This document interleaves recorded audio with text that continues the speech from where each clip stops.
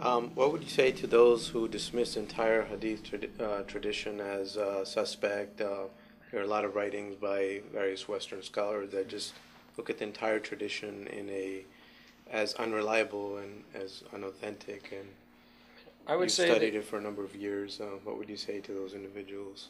I mean, I'd say that you know dismissing it is it's just way too hasty. I mean, the, the you know you have this tremendous effort accomplishment that Muslim scholars undertook and produced, and uh, you know they might be right some of the time and wrong some of the time, but to dismiss it all um, out of hand just because it strikes you as odd or un- improbable is, in my opinion, very hasty.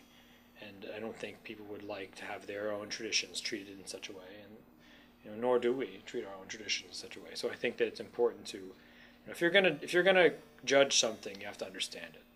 If you don't, if you judge it without understanding it, then you're you're making